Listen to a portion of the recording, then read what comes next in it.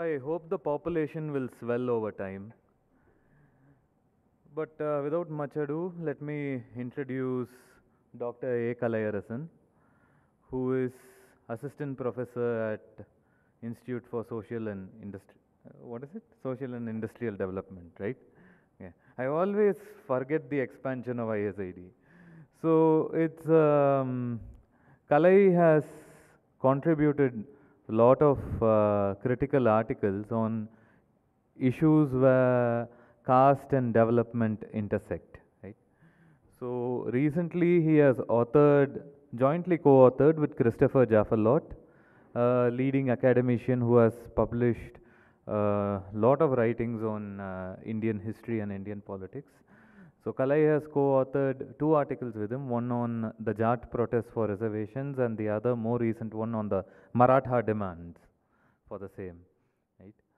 Uh, prior to joining ISID, Kalai was working with the Planning Commission and uh, before that he was a PhD student at JNU. Uh, he did his PhD in economics and Kalai has also contributed numerous articles to EPW, Frontline and other forums as well. Uh, he has presented at conferences both at national and international levels. Uh, some of his interventions include study of comparative development models, most notably the comparative study of uh, development outcomes in Gujarat and in the state of Tamil Nadu. He is particularly interested in uh, understanding the impact of social justice and populist policies on uh, economic development. And uh, so I do not want to bore you with more of this formal introduction stuff. Let Kalai himself speak because what he has to say is, I'm sure, will be of much interest to all of us and of the things that we have been grappling with the course. So, Kalai, please, I welcome you to the stage.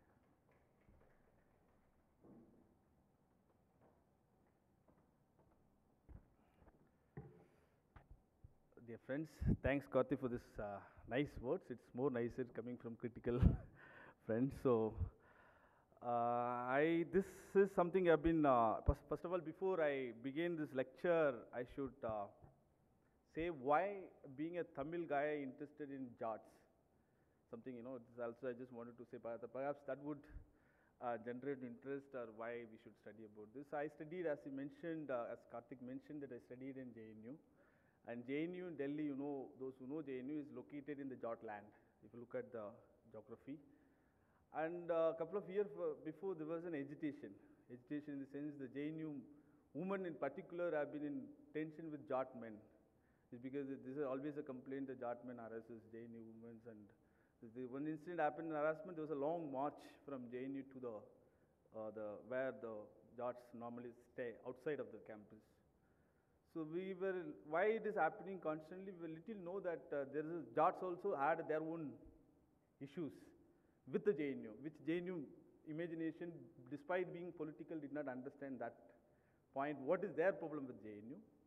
Which is this, that despite the fact that JNU just located in their land for 30, 40 years, they feel that they are not, it's alien to them. Formally, they never entered into. Formally means as no students entered from their community or family, into the campus, which is their angst. Anxiety, which is like why our kids couldn't enter into the university, which is known everywhere. I mean, it's known in almost in public space once in, I mean, every time. So why our kids couldn't enter? This is the, so then we met, then we got to know and the issues, we had an informal conversation, we got to know there, are, there is another story attached to it. Perhaps then we should explore more. This is one point in time happened, but then later agitation that has happened uh, and recent, say last year, couple, couple of years before, last year became more intense of the Jat agitation, which again opened up the debate in national level. So that developed interest. So this is the this is the uh, reason why I developed interest understanding this question. How do you go with this? It works?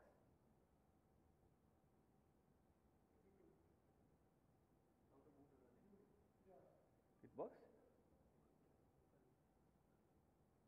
Oh.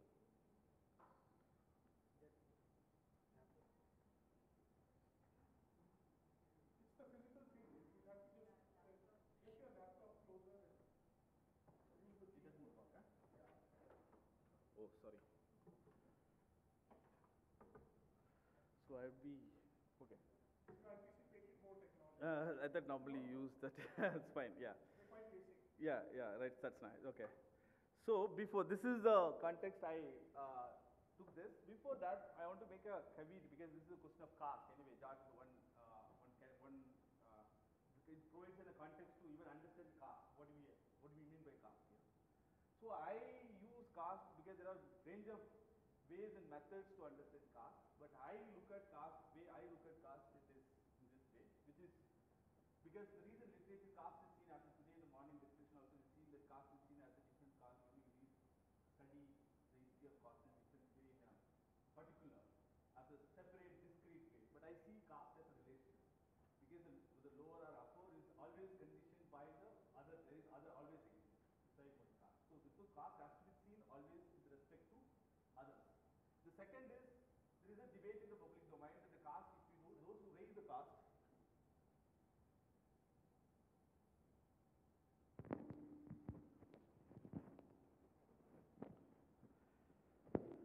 So there is other debate in the public that uh, the caste is a problem only when we raise it. As long as if you do not raise in the public domain, it's not a problem. So the caste movement acquires a political content, then it's a problem. As long as it is in the private domain, it is not a problem. So it is always seen if raising non-acknowledge, non-acknowledge, don't acknowledge it, so you can solve the problem of caste. That's one some way that that's a frame guided for guided for a long time. Somehow that's opening up now. So then every time it opens up, we become perplexed and we, we, we become a little uh, uns- unsure as to how to deal with it. So therefore I say, you know, because many things, if you look at caste, then again, you know, you have to go through the different tradition in India in the political science and history, go back to Ambedkar, Phule, etc. That's the only way. But there are also other ways, even within the Marxist framework also one can understand. This is something I'm loudly thinking of. Look at, say, one of the questions that Marx raised. This is, I'm talking about the context of Jewish question. Those who read the literature of the Jewish question, this is Marx had a long debate with uh, Bauer in terms of what Jews has to do in the context of German. One has to convert whether he is from, he should keep his religion in the private domain, or the state has to deal with, he should maintain the neutrality, or should abolish religion at all. So there was a debate. So Marx said, even if you do every of, any of these things will not solve the purpose, because end of the day, the caste, the religion exists in the private domain, it will reproduce or it will open up the, the problem that you have in the public domain, which is called as abstract versus concrete life. So you can have a level of equality in the abstract domain, which we normally expect, but if you maintain the, your differences at the private domain, which is your concrete life, which will definitely get manifested in the public life. So far in the context of Jats and others, Marathas, some way it has been seen as, as long as it is the public domain, it is not an issue. The moment it acquires the political content, it became an issue. So therefore, I guess abstract equality is not possible unless you deal with the life in the concrete. That's what the Marx quote, I'm just paraphrasing in the Marx quote here from Jewish questions to understand the caste question. Second, in this presentation, in particular about caste, these two slides I'm going to show actually summarizes the problem of Jats.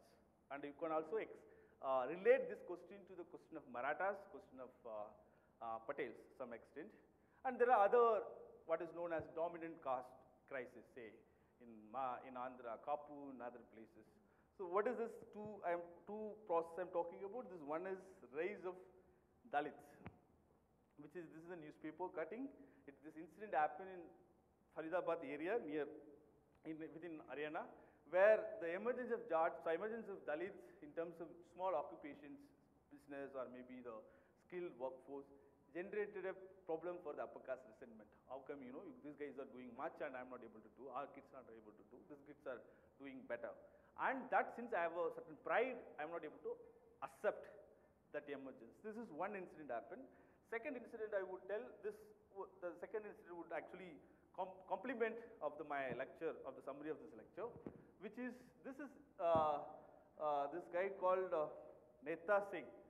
He is from Sonipat village near, uh, if you know the geography, just close to the Delhi, NCR, where he has suddenly become millionaire. How? Because of the land is located around the national highway and it made a huge money.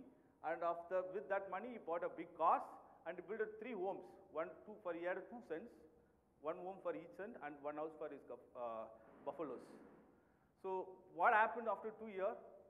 He lost his money, not able to do what to do. He spent all this money and now is jobless and no land. So basically this is some way I would say, although the, the what you call as a torturous transition that the, economy is going, now, the what you call the transition debate, seems the sort of incomplete transition. I'll come back to this question. These two, why, despite being a millionaire, he is not able to sustain his millionaire position. He became a millionaire because of his uh, huge wealth generated through real estate, and he couldn't continue and sustain that. Why it became, why it became that so? And this, with this, now I make a claim based on my studies. Why this is happening, particularly in Jat agitation, is two claim I'm making. If you have to understand the Jat agitation, one has to go back to 91. That's a particular year in, uh, uh, so to say. I mean, normally it's seen as the post 90s, and you can say from 91 exactly, which is two process initiated in 91. One is of what is known as economic liberalization, which I called as the process of market. And the second I would call as the process of Mandal, which is implementation of OBCs. Because here I would say when I say Mandal and market, I use a, as an abstract as an abstract category. It means basically the economic process. It takes a life, lead life, and similarly the Mandal isn't a political domain.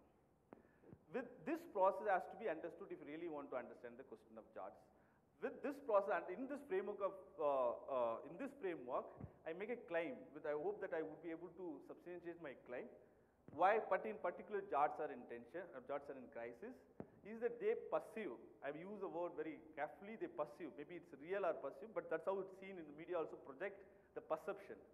Jats pursue those who above them, particularly the Brahmins in the forward caste, have benefited, are moving at faster rate, and those below them, largely it's Dalits and OBCs, are also moving maybe albeit in a slower rate, and their own position is stagnant or maybe declining in relative to others, or not moving up in enough with others. This is something making them unsettled. Those above them moving up, those who blow them also moving up little, their own position becomes stagnant. Whether this is real or it's a perception. Again, this is a contested domain. We'll go in further whether we can provide some evidences to it. And this aspect, this two process with this climb and has disturbed their older equilibrium.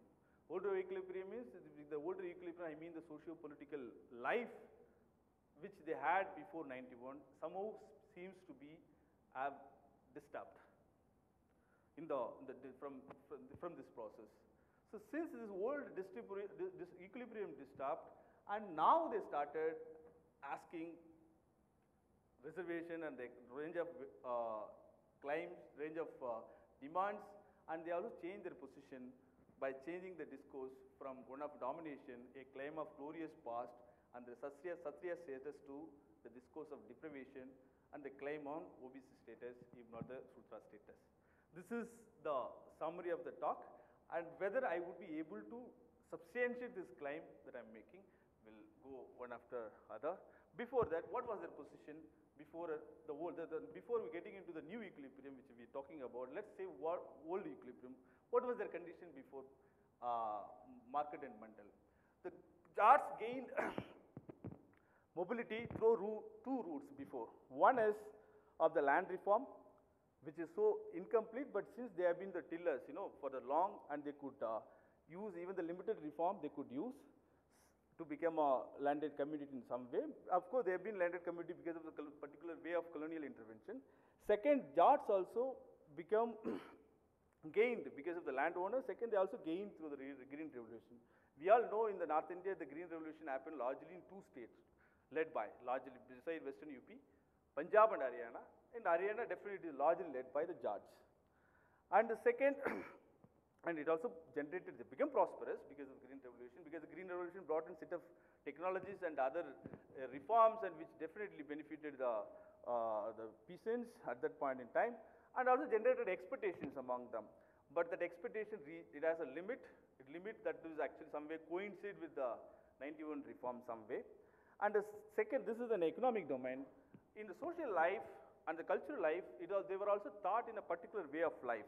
If you look at, uh, uh, a great leader, it's not necessarily Jat leader, known as, uh, he's from Jat community, Charan Singh. If you look at his works, he largely celebrates of the George's life. What is that George's life that he celebrates?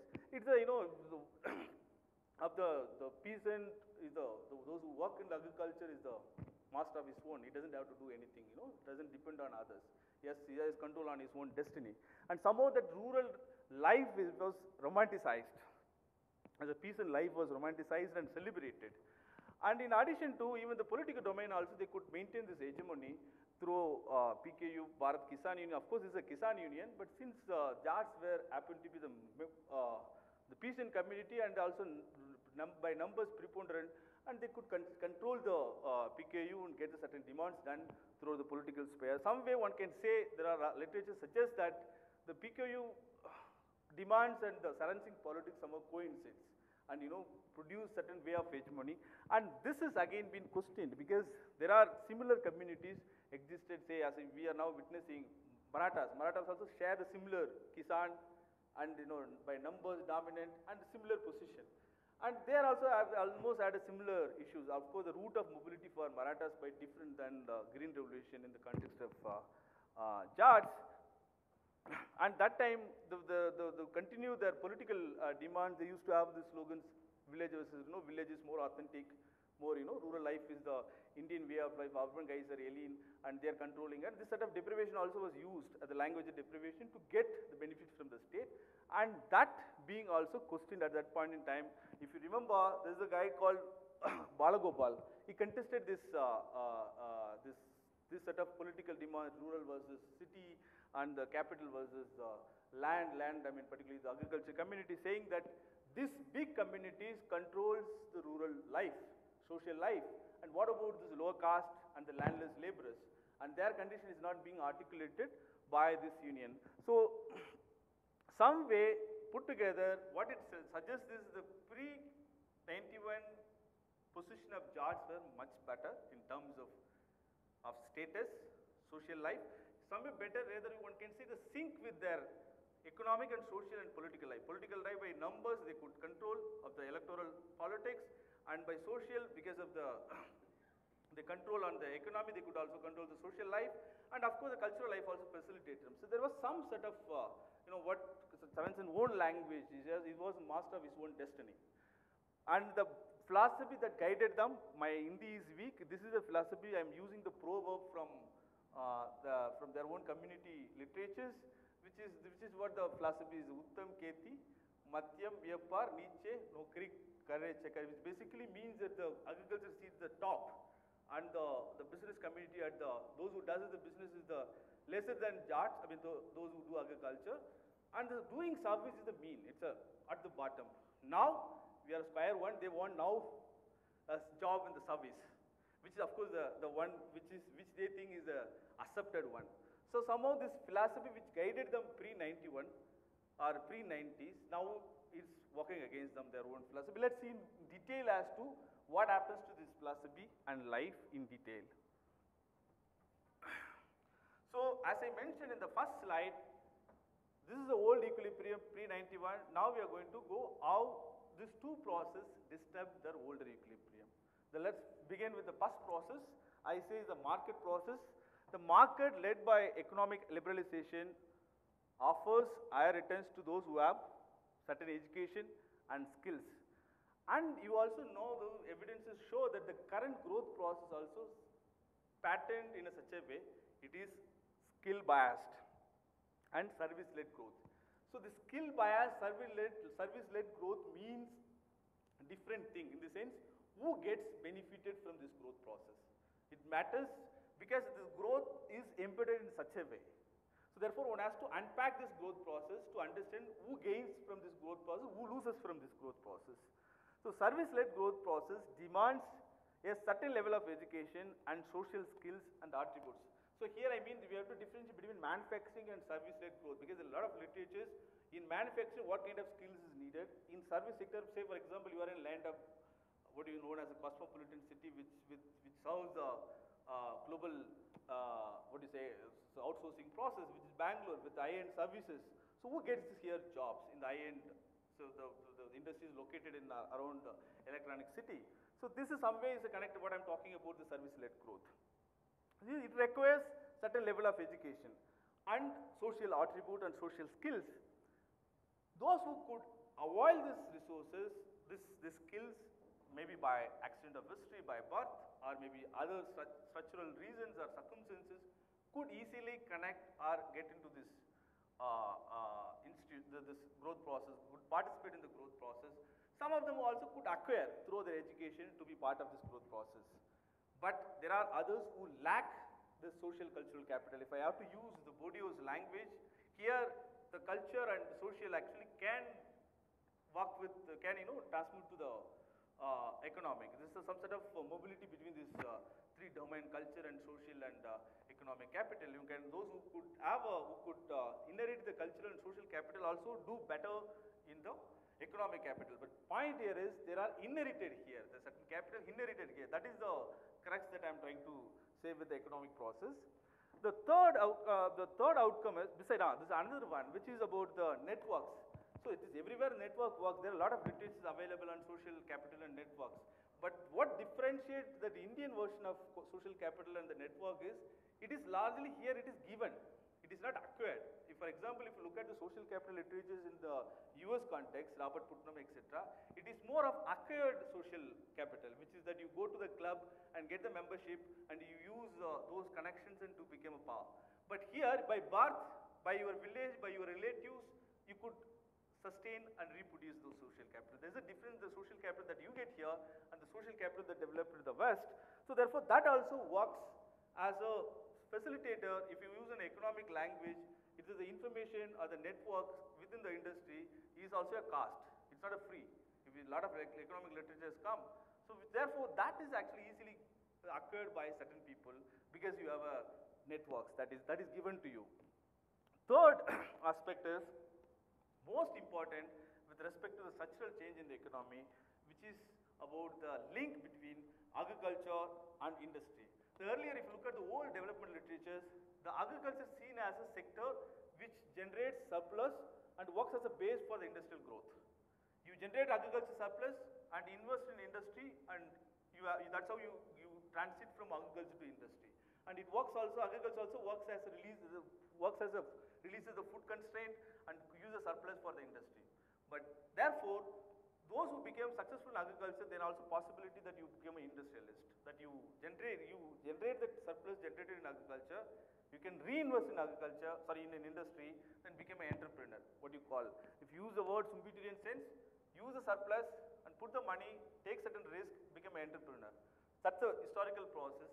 That process, that link some way broken or weakened post 90s. You don't have that set of structural link between agriculture and industry. After, after opening up the economy, you need not to worry about surplus here. You can you know, get the capital from the foreign capital, global capital come in. You don't need not to worry about your domestic capital that has come from agriculture. So that component is over. Second, even the food. Of course, still the food actually is largely, we don't import much, but if needed, we can import. Already our trade is opened up. So that set of structural link between agriculture and industry weakened, some way broken in some areas. As a result, agriculture as a sector of growth, as a driver of growth, gone backseat. So, the, as a process, since the agriculture has lost its relevance as a driver of the growth, the communities which are associated with agriculture, which they were once upon a time the dominant, say, so to say, used to say, say Marathas and Jats and etc. range of communities also face the heat now. Because these communities actually were the once upon time the, the, the, the, the what do you call, champion of agriculture now, since sector lost and those communities associated with also lost. And it is not the case always. There are cases where it also becomes successful. And take the case of in Tamil Nadu, Gounders, in, in Andhra, some way, Reddis and Kammas, they could somehow invest or maybe not really in industry, maybe in other source of other ways, maybe educational institutions and other ways, they could invest capital generated within agriculture and became maybe called as a relatively successful, unlike Marathas and Jats. So this is the story with respect to market process. This process, as recently some economist, uh,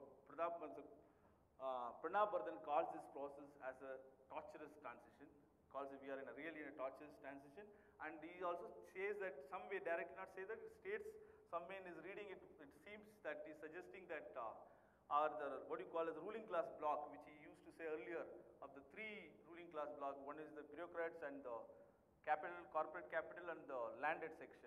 Somewhere the landed section is lost. These other two took the lead in the transition. So this is the economic process which has to be kept in mind in understanding the question of Jats or similar communities, Marathas. This is applicable to across. Now we are not going into specific to Jats. This is a larger economic process which has disturbed the older equilibrium, not only Jats, including the other communities, similar positions. The second, I would, uh, as I mentioned earlier, is the Mandal process. What I mean by Mandal, Mandal is actually specifically meant for implementation of OBC reservation. But it brought in the, the caste category into the political process. Of course, there's a, this is, Mandal is meant only for OBC reservation and there's a tension between Dalits and OBCs. But yet, as a caste, as a political category, took a shape in particular way in 90s, which is actually because of the Mandal process, which is now there in much reading, is a lot of work done on this by Satish Deshpande and uh, Jaffrelot, and which clearly they provide evidence to say that how this Mandal actually changed the political discourse in and which actually has a larger implication for the caste equation. Again, the caste equation also changed over a point in time because of the Mandal emergence. As a result, as I mentioned earlier, this Mandal process also opened up the space for lower caste, including Dalits. Some people call as the emergence of new netas within these communities who became, uh, say, who negotiate with the state and set the, set the, get the certain claims from the, from the state. So somewhere these benefits or maybe these communities felt or became confident to negotiate with the state to get certain benefits. Which actually happened, this process some somewhere been there, but it became more visible after Mandal. Some people say, why? You know, you know now of the Dalit middle class, right? Do you know, if any incident happens, you have vibrant protest. Because even to protest, you need to have a certain mass of cream within your community. So that mass of cream needs, you know, became more visible in 90s. Perhaps it took a longer time because the reservation existed for Dalits for longer, but its implementation for other reasons became more visible as a vibrant middle class within Dalit and OBC communities in 90s. Perhaps this is an assumption I'm making. But yet, it also became, one can say, with provide some evidence, the emergence of, say, DI's CCI, which is Dalit Chamber of Commerce. Maybe it's a tiny, we cannot maybe, you know, say that it's a big event, but yet it says maybe the emergence of certain middle class or maybe mobility within Dalits. So which all not directly connected to Mandal, but the Mandal has connection with all this in terms of uh, uh, the caste became visible in the political space and the economic space. Again, this, this is the, some people theorize this process as a political society. If you, you want to use uh, Chatterjee's claim that those who peasant communities now politics, you can't do the quota, the, you can't do the peace peasant politics that worked in 90s or uh, 80s. Now you use as a, as a sort of uh, buffer between the state and uh, civil society to get your claims done which works as a political society in the in, in if you want to use the uh, category of Partha Partha Chatterjee. So similarly, this, again, this is the process as I mentioned earlier. Is along with this, one more process also happening embedded within economic process, which is urbanization. As an urbanization, again, we have to be here. Urbanization. I'm not celebrating urbanization here. Urbanization provides sense of not freedom for low caste, which I mean that you don't have to have caste stigmatized visibly as it exists in the rural society in urban. Urban, you feel the sense of anonymity provides freedom. But the same urbanization also works as a sense of loss for some people, some uh, communities which otherwise known, well known in the area. Village. Those who come from village would know, the village everybody would get to know almost everybody. So if particular caste coming from, you would be you know, perceived in that caste prism only. But the urban space provides you little uh, set of uh, autonomy and you know freedom to those, particularly those who are coming from different background. So this anonymity for urban space is enabling for Dalits and disabling for some castes such as Jats as a later feel a sense of rootless urban. Again, because it is also now you see in urban space the distinction, the social status that you had enjoyed in the village not available. So you have to be one among others. So that anyway social, somewhere the visible social uh, uh, uh, state differentiation is become not possible in the urban space.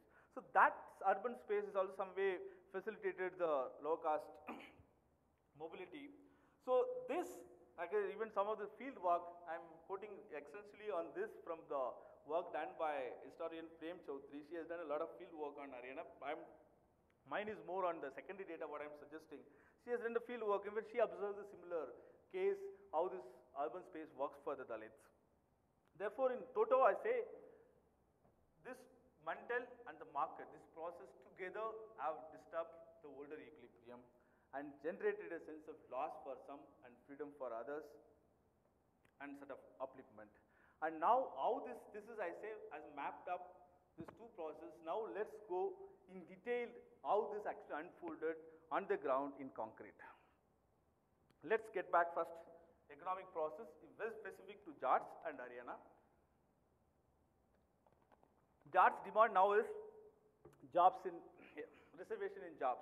Let's look at the public sector because now reservation available only in public sector. If you look at the public sector, in 95, almost total public sector jobs in Haryana, which includes central, state, local bodies, everything, which was almost 4 lakhs 25,000. Now it has come out, come down to 3 lakhs 66. In fact, there's a sheer decline. So now you have a decline of public sector, then you have more demand for public sector jobs, which is not going to work. Because why it is happening, even if you do not have reservation, if the jobs continued or gone up, maybe the possibilities people would have moved. So you have already a, uh, your public has, come, share has come down. Now there's no option. Only option available for uh, people to go who are particularly who wants to move up from agriculture to others, maybe the other occupation, traditional occupation to modern occupations, only sector available is the private sector. Public sector is already almost now we see the decline. So now how private sector is performing. This is the case of Haryana. One can generalize with the other state too in some extent. So if you look at the Haryana particularly employment growth, where is? We know that earlier, uh, earlier slide shown there is no growth, employment growth in public sector. It has come down, in fact declined. Now in the private sector, the only sector which has grown, if you look at this, uh, the, I can't show here, right? Let's show.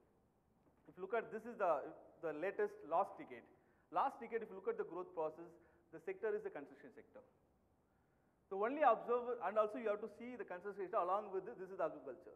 So you mean that first time, I mean, this also been seen not only in, uh, uh, this is in the context of, yeah, this is Haryana, this is uh, all India, in the both. In Haryana it's much sharper, which is basically says huge number of agriculture workforce have moved out from agriculture to non-agriculture.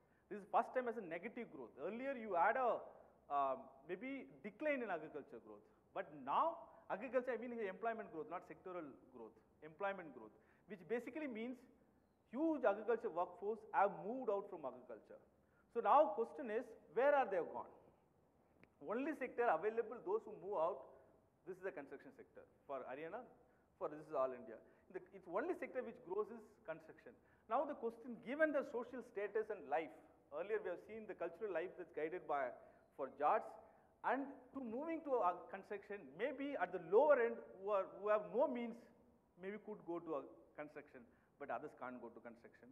So again, if you look at this, so only availability is, this is the job.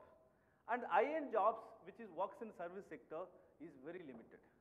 And that limited, and also you need to have a different set of education and skills to partic participate in that high-end uh, service sector. So now this is your economic growth process. You don't have public sector, private sector only is a source, and within private sector, the tiny sector service and the rest is construction, no manufacturing. So this is the context one has to see those who moved out are finding a problem in agriculture.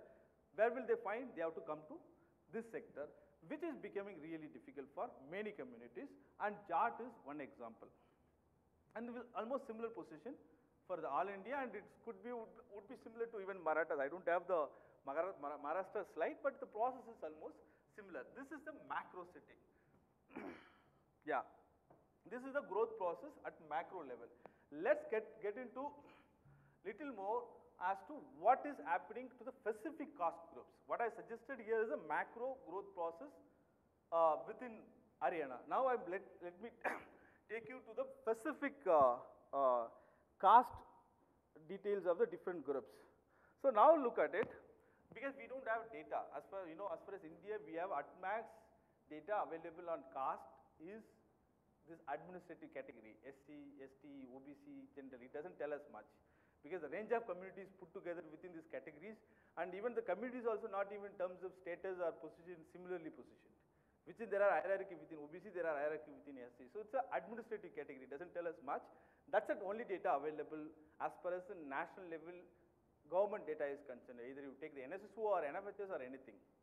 So now interestingly, we have a data which is done by NCAER and uh, University of Maryland, which has give, which has done study, I mean uh, across India and with considerable sample, workable sample.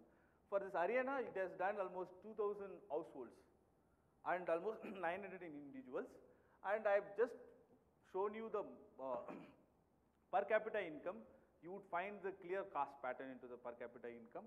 And this Gini coefficient is the, the, the differentiation within each caste groups. How equal that caste groups. If the more is the Gini, the less is the equality within the community. Here you would find, I will come, I will come, come back to the story later because this, this is a very important story of the class differentiation within the caste. You would find the Gini is more in the forward, or the up, maybe call it as a quote unquote upper caste, maybe the Brahmins and the Jats and uh, forward would be very less OBCs and SCs. I'll come back to this story, but the, what we need now is there is a clear pattern in terms of caste of the income. Look at this is the per capita mean income across caste groups.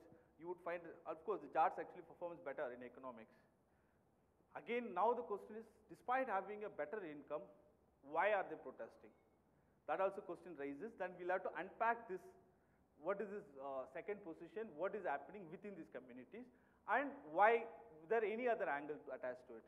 But yet, if you look at the excluding the Jats and the caste pattern clearly exists in terms of hierarchy of the per capita income. You see the second position, Jats and OBCs and SCs at the bottom, and the difference is huge. You see the see the size of the difference, which is very clear. Now go a little further as to say how, why, I mean, what are the jobs they are doing, different caste groups. Is there any pattern in terms of occupation or the source of income? If this is the caste pattern, how do you explain this path of this mobility of the why certain caste groups have a less income, why certain caste groups have more income? How do you explain this? I did a little more to the look at the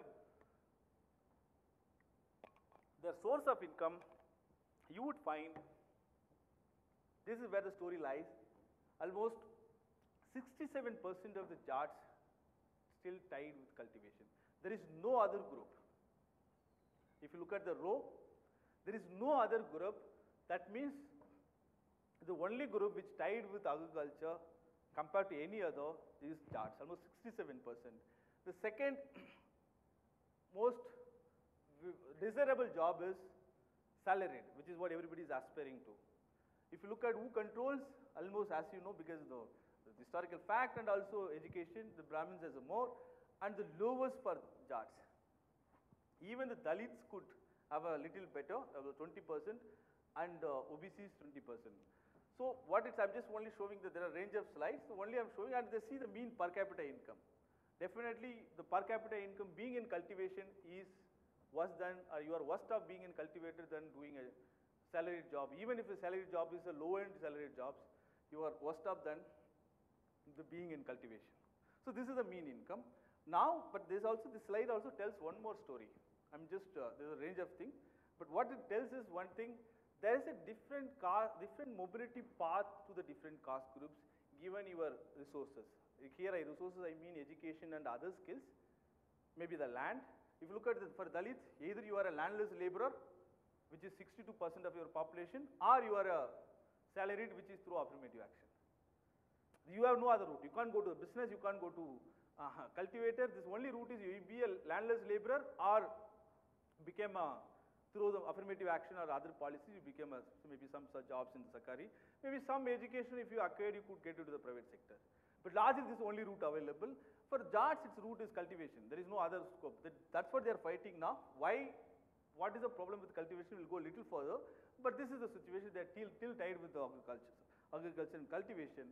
And for the Brahmins, it is the salaried, but others it's distributed for the OBCs.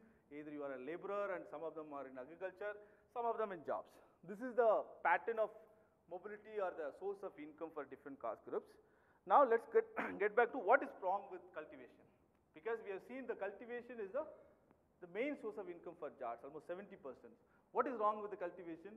This one slide is sufficient. This actually says the land size has come down. The large, no more large landlord that we imagine or existed in pre-91 time. That is when the union was important, that uh, what you call BKU, what is the Bharat Kisan Union was important because that was the time where you had a land and land was a source of power and status. That is no more now. The, the big landlord has, I mean, disappeared. Maybe now we have different forms of landlords. Maybe that's a different question. But traditional landlord disappeared. Again, if you look at the average size of cultivation, really it has come down from 3, 3, 3.1 hectare to 0.8, which is almost what is three times. So it's a huge decline. This maybe looks like a number between this. If you take the percentage, it's huge after change from 3.1 to 1 point. So what is happening is, first of all, the Jats tied with the cultivation. Second, average land has come down. And within that, the big landlord disappeared, very minute, very small uh, fraction, and the rest of them became maybe that the, at the maybe low, small and medium, not even medium, small and micro, that level of peasants. So there really has come down. Let's get back to one more, which is in, just in support of this. I give one more slide, which is done by the national survey, done by NSS for situational survey, which says we have seen earlier that the big landlord disappeared, a very minuscule minority. Within the, the farmers who are actually the say what you call small and medium, their condition, you just try to show one slide, which is the, basically the slide is little not clear. Basically the, what it says is, you have a consumption expenditure, this is their income and this is their consumption expenditure and many of them are in debt. Basically they consume more than what they earn. That is the situation of the cultivation. This is actually done for those who are in cultivation in agriculture. And their average income, their cons average consumption is more than the average income, which is basically majority of them are debt. Majority, of them, particularly the pieces, the communities which have the land size this, which is corresponds to the earlier land size, which is micro, small and bottom to the landless. You call landless is just one. So you take that almost here it says is big numbers because the, that time the government also actually asked the committee to explain why it shows 70% of them are in debt. Then they said it's a drought year, therefore debt. Even if you assume the drought year, but still data suggests something, which is basically maybe not this number, but there is a crisis for those who are in cultivation at the bottom. So you have to connect this story with the story I told earlier. You have 67% of the Jats in cultivation. And just take the Jats of any community which are in cultivation, whose land has come down and who are in still in cultivation is in crisis. So which is some way you have seen now real agrarian crisis which also unsettles them somehow with respect to others. Others are moving up, those who are in a different field. With this, what I am trying to say is, Jats believe therefore, the caste groups such as Brahmins and the forwards could exploit the opportunity opened by opened up by the economic liberalization because you have the skills. Which is the skills available, which is needed, I told earlier the slides, that you need to have a social and uh, other uh, skills, cultural skills to be part of IN, with, including the education. Of course, education is the basis. Not education alone is sufficient. You have to be in the high-end service-led growth, you need to have a certain set of skills. That skill is not available for everyone and still those community which could inherit their skills could exploit this opportunity. This is one. Second, they could also therefore differentiate their economic activities from move from traditional sector to the modern sector. But some communities stuck with their traditional sector. The Jat is one among them. Jat share and therefore, if you look at that, uh, the slide, one of the main source of income I've shown, the Jat share in the salaried jobs is lower than even that of OBCs and SCs. And this is perhaps due to education mobility and affirmative action in government jobs enjoyed by the SCs and OBCs. Again, this may be a small fraction of the community because as I said, it's a mind, we, have, we cannot generalize it because this, even that small visible mobility he became known and much visible in the context of village. If some people, section of people moving up in the village, you would easily see the others could identify. That unsettles them. Because as I mentioned in the first slide, my understanding of caste is a relational. So what somebody's mobility is, you have to see with the others' failure. You know, that's how it is seen. So now the Jats stuck with the cultivation and the relative mean income of cultivation is lesser than the occupation, other occupation today I mentioned there and the cultivation is not viable anymore which we have actually clear from the, even the national survey done by government of India through NSS and the average size of cultivation also has come down. If the market has dislocated the Jats that's how the process shows and the Mandal definitely has challenged them in the politics. How the Mandal has challenged them, let's go a little in detail of the Mandal process. Interestingly, with the Mandal now they are, although uh, Jats are seeking OBC reservation, but they had an interesting uh, affinity with the Mandal. Because they initially, as I mentioned here, the Jats have had an ambiguous journey with the Mandal because they opposed initially. So much so, that is one reason because the OBCs are seen as uh, Shudras and the Jats claim to be a Kshatriya status. And that is one reason. The other reason is also of the because these communities were that time the agriculture was prosperous. They did not think that it's going to be this way. That's how the uh, the studies suggest. And in that time, if you know, if you remember, that time, who is this uh, deputy chairman? Devi Lal was the deputy prime minister in the. Did I mention here? No, it's not mentioned here. Devi Lal was the, yeah, that's mentioned. The, the opposed Mandal, the Devi Lal, Devilal was the deputy prime minister in that time, and he opposed that we, we will not sign the, he will not sign the uh, Mandal ordinance. And therefore, VP Singh has to get someone else to uh, sign the ordinance and get this thing done. Because that time the Jats were not clear and they opposed the uh, agitation. Even some of them even joined the anti-Mandal position. One among them is uh, Ms. Tikait, a leader of the Jats, also demanded abolition of the reservation, which formed as a part of Charter of Demands. And this Mandal, although as I mentioned earlier, is also generated a political community, which Yogendra Yadav claims as a second democratic upsurge, which, which may be contested, but yet caste became an important category in the political domain. That is because of the Mandal and it has facilitated, provided confidence for the low caste and it, it challenged the other caste groups. Notwithstanding, therefore, I say contested claims, Mandal along with the market have definitely opened up alternative jobs for the lower caste. So how that worked on the ground, let's go a little further into the education thing. If you look at the education, this is the overall slide. I'm just giving a description. As I mentioned earlier, the service job, this current growth process is the service-led growth process. Those who have certain level of education only get get into this growth process. If you look at the graduate and above, which is which is actually maybe a, as I say called index to become part of the growth process. Definitely those who are better off, the Brahmins and the forward are better off and the Jat position is quite similar to OBC's position and of course SC's position is lower than that. But this doesn't, story doesn't end. If you look, break further as to, I tried, what I tried is, you take the top quintile. Top quintile I mean, you take the top 20% of income across caste groups who are similarly positioned. You call as a cream of the each community of the, you know, I mean, you, you, I mean, how it, how it happens is you divide the each community income into five parts and take the top one. So I, I, that means that you take the cream 20% in each caste groups and see the performance. If you look at that, the Jat position is much lower than the others. What it says is, there may be possibility, even if your income mobility is high, which in the Jat case could be real estate and other sources, maybe other speculative capital, you could move up, maybe in other sources you could move up through the economic category, but doesn't guarantee you educational mobility. Which is clear here if you look at, therefore this process I call as a, can we call as unequal creams? Because now so much, so much debate that within the caste that you have to take the cream out if you want to, because there's so much discussion on the uh, economic category.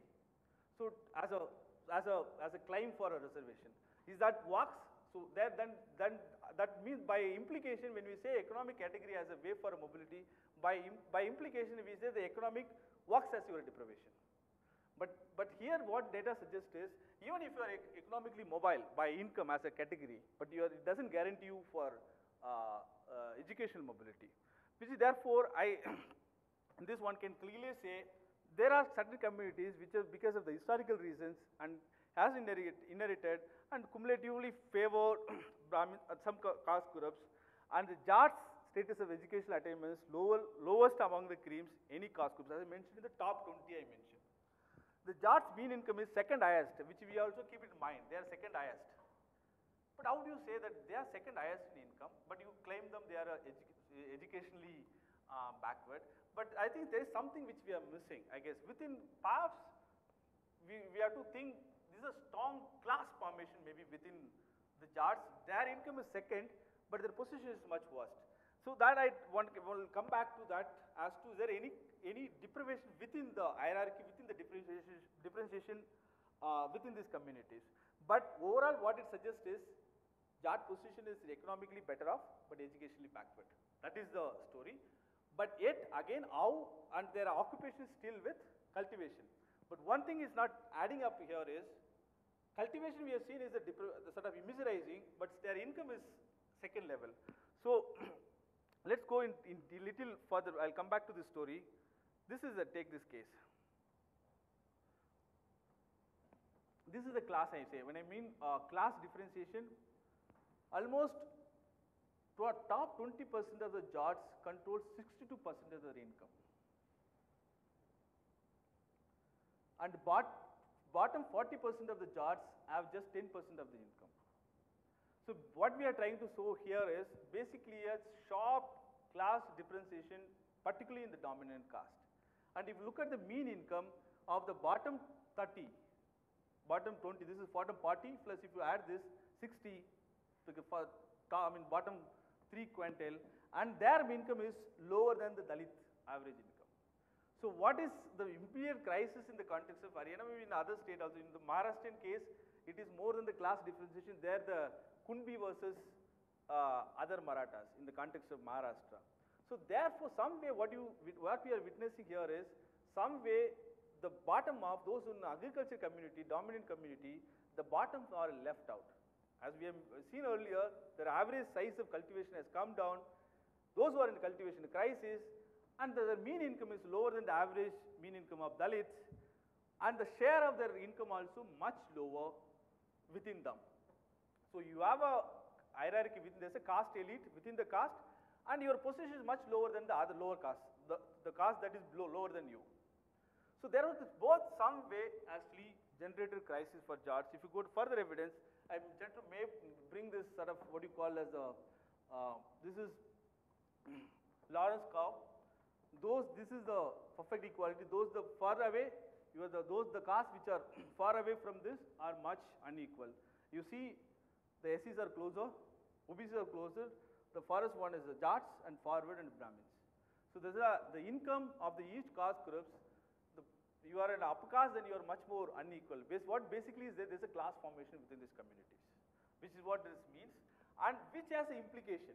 I mean, because if those who now in the protest, maybe the elite is maybe leading, those who are on the ground is the landless, lower level of the income group, the, maybe the youth, and who are actually maybe at the bottom, if you look at this, this position.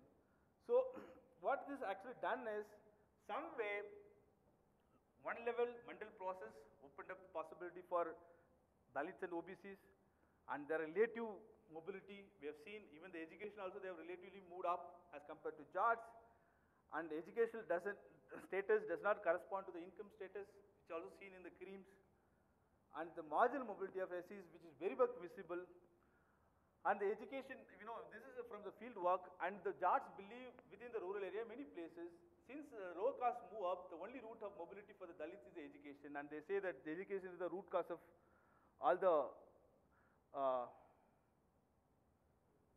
all the crises, all the hills. So, some way market broke the Jats' economic status, and the Mandal broke their political status. Sense, sense of superiority gave away to the sense of loss. The claim of Kshatriya status was ceded to the OBC status, if not the Shudra, status. The language deprivation, which was seen earlier, which, which was used now, it took over the language of domination. Earlier was the language of domination, Kshatriya status, now has given away to language of deprivation. This is a story with one can say broadly economic liberalization initiated in 91 as dislocated economic position of the uh, economic position of the Jats, and it has disfranchised them from their earlier position in terms of economic power and social status. Remember, earlier the land used to be the source of power. Now it can provide money, but it doesn't give us social status. Say compared to one being in a corporate or one being in uh, government or maybe in uh, salaried jobs, uh, that actually became more visible.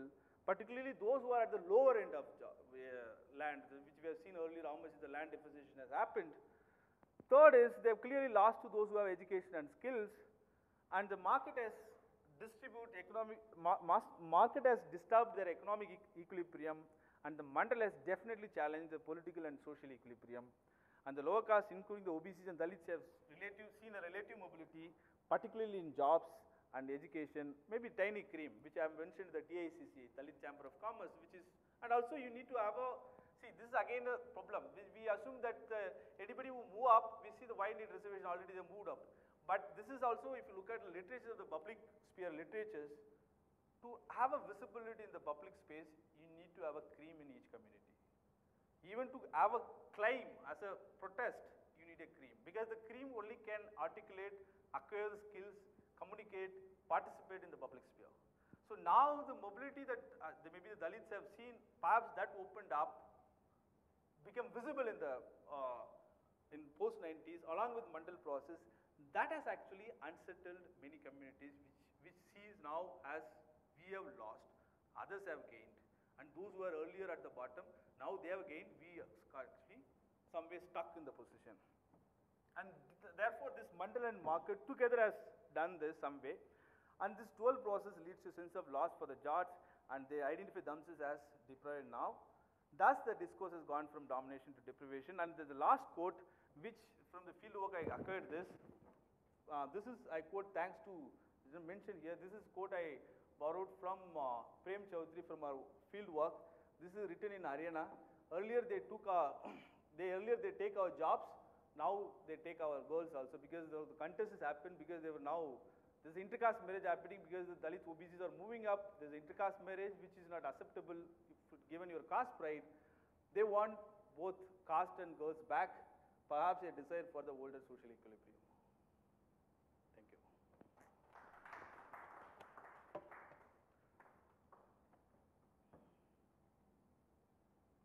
So before I open the floor for questions, as the moderator of this discussion, I exercise my privilege to ask you the first. So if you remember some 10 years back, there was, 10 years or more back, there was also a somewhat similar agitation by the Gujars demanding uh, conversion to ST status, right? And uh, likewise, there was uh, around the same period, there was a very unsuccessful attempt at Rajputs in Rajasthan to mobilize themselves to claim for OBC status. Why haven't these protests gained the militancy or the consistency of the Jat protests? Is it because they are not as directly economically affected as the Jats, or do you suspect that there are other factors? Uh, so even Gujars, right, uh, several years back, they protested to uh, change the status from, uh, I believe, from OBC to ST, right, because they were competing with the Meenas. Likewise, uh, Rajputs in Rajasthan were uh, demanding to be included within the OBC status. Right? But none of these protests acquired the militancy or the consistency of the Jat protests or the Maratha or the Patel protests. They didn't produce this sort of a mass mobilization or this prominent leaders and stuff like that. Would you do you think that there are different processes? Yeah, definitely. I would. One one thing we can say, uh, two things we can say. One is by numbers, these communities. Can I use one one after the question? Yeah. Uh, the, by numbers, this community is huge compared to the other communities. That is one important. Second is the militancy also comes when you lose something when you gain. So now, what the Jats perceive is the loss. So then you are losing your what you maybe the the lose the loss that you have maybe see your sense of loss may be perceived, not completely real, but yet that that is actually opens up much militancy than the gaining something. Demanding something will not push you to that much than to retain your position. Otherwise, you are going to lose. This is my I, I, I try to uh, I mean, understand this than the maybe what you call the relative benefit, the imagined benefit that you're going to get from the protest. The more protest is that you are going to lose, you are losing, that you are not able to accept. Because others are gaining and you are losing. That is something, I guess, opened up more militancy than the gain that you get. See, even if I'm not sure that the, the, the- reservation is going to solve the problem, this is an, uh, this is an attempt of to solve your, maybe salvage your ego or perhaps that, you know, I get something from this. It's not going to solve your problem. So this is a, maybe that's what, the, for them, there's a real gain for them, who, uh, for the other caste group, Gujars and others, there's a real gain that if you change the category, you gain. Here is the image in loss and image, perceived loss then. Of course, there's a real, as I mentioned the process, but here it is not about their own loss, it's about the others' gain, which actually generated resentment. Uh, so thank you for this uh, informative talk. As in, like I come from Haryana only, but uh, I never saw this kind of data like related to caste or their occupations and all of that. Uh, but uh, certainly, like uh, I guess it's difficult to conclude anything about Jat community uh, without talking about uh, the sort of caste councils that the community has, like the institution of Khap Panchayats and all of that. Uh, so, uh, do you also think that there were also some political motivations behind it? As in, Khap Panchayats are nothing but, uh, you know, to put uh, that hold, the old hold of Jat community back on whatever scene is there in the state. And since the time BJP has come into the power in 2014 and after that, uh, the whole idea of BJP is to, you know, put a hold on the reservation thing and get done with that. So, do you think any political motivations are also there? See, this is a very tricky question. Why is because any issues definitely have political motivations. Cannot be ruled out. Definitely given the Jats has been historically organized. Because as I mentioned, the pre-90s they were organized in the name of Kisan Union. So what has now changed is from the Kisan Union to uh, Jats Mahasabha for a uh, reservation. But the, you have organized structure available already and political parties used your crisis. The crisis that they are having, which is agrarian crisis some sense, what I shown here is, and which is being used, exploited by political parties. But the question I have, what I am having a, I am, what I am afraid of is, since it is political, politically motivated, definitely political parties would use any cleavages that exist in the society, any sentiments, any, any issues available. Maybe here the political parties are using, but we might not lose the crisis on the ground, what is happening. If we attribute the entire process, entire issue to the political motivation of the parties. There is a political motivation, there is an organized caste councils which does this, which sustains, which also wants to uh, maintain the hegemony, etc. But that cannot be, uh, uh, can be a plan to not, not looking at the real crisis on the ground happening. Definitely that angle is there. And I am also not sure, I am not here advocating also reservation is a solution which going to solve the problem. No. But the problem is something else as I mentioned here, which I don't know what is the solution for this. That's something we have to think beyond what we have now. Because earlier the, the division used to be one, see, remember here also, the language of discourse of the deprivation is not coached in the language of social justice. No. Here what is the demand from Patels to Marathas to Jats? If you don't give reservation, abolish the reservation. The earlier language of social justice is the different, which was more rooted in the deprivation, history, backwardness, etc. But this language is not rooted in that. This is, it looks like your resentment, I mean sense of loss, and you lost something, and you want to, you know, as a compensation, you are, since you have a power and you have a organized structure, you are pushing the state to respond. Definitely can be motivated, but I am concerned more on the, the process and the crisis on the ground. I don't know whether I answered your Hi, I have two questions. First, uh, I would like to thank you for such an interesting presentation. My first question is that from Gujarat to Haryana, these are such states which have seen high economic growth since last two decades. What is the reason that there is cloud coming out, this idea of deprivation is coming at such a large scale, also in the Maharashtra? And my another question is, in the whole discourse of Haryana Jat agitation, how violent it is, the most of the time it was represented official circles as the response of some OBC minister shows it, against OBCs versus Jats. What was the role and why is the position of others, whether minorities, forwards, in this whole discourse? See, the first question, I'm, not able to get second question, I need to uh, ask you further. First question, maybe you, I'll answer the first question. See, the growth, as I mentioned here, the current growth is the problem. The problem, I mean, I just mentioned the first, second slide itself. Current growth process is a service-led growth process. And it doesn't, it, it, is- it doesn't involve any mass, mm, manufacturing which can absorb the labor which is pushed from the agriculture. So even the state which has seen high growth, say for take the example of Gujarat, which is said as a model growth, and Patel protest punctured growth model, right? In a way, what is the data shows? Some way Patels feel even compared to Marathas and Jats, Patels were in entrepreneurs, some way of the you know white revolution, what we call as a milk revolution led by Patels, and they were also in diamond other trade. But yet they feel that the current growth, particularly last 20 years, they have lost to the big corporate because the small enterprises actually has shrunken and they could uh, see that somewhere relative deprivation with that. And of course, the similar story exists there.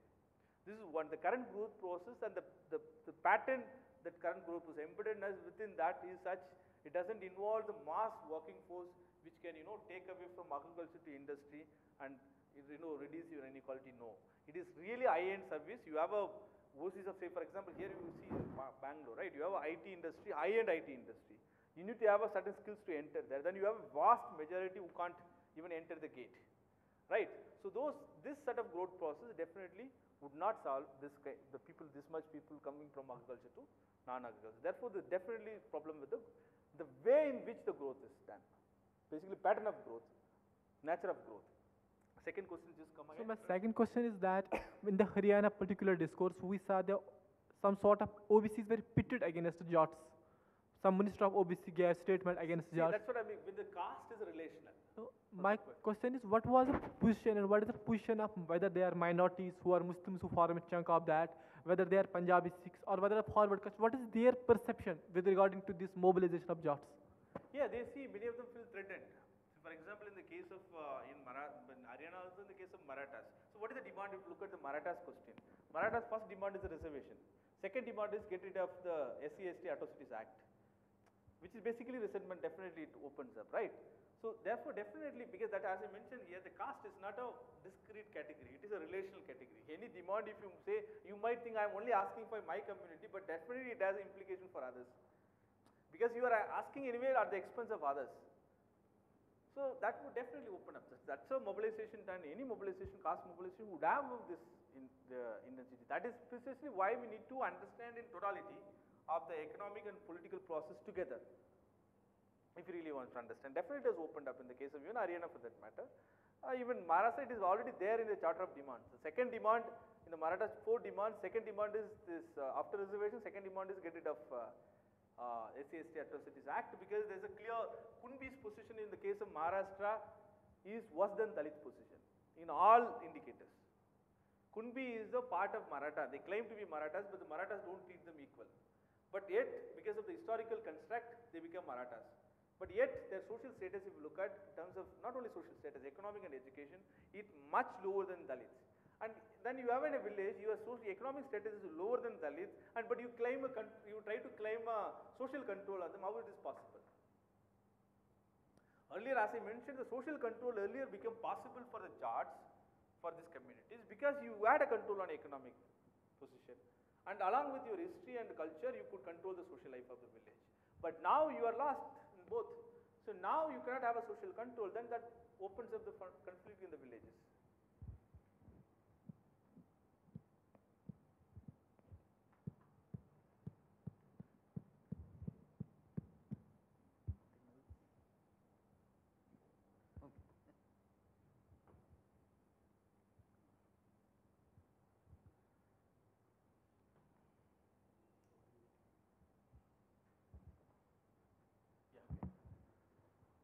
Uh, thank you very much, uh, for being part of this, and thank you all for coming.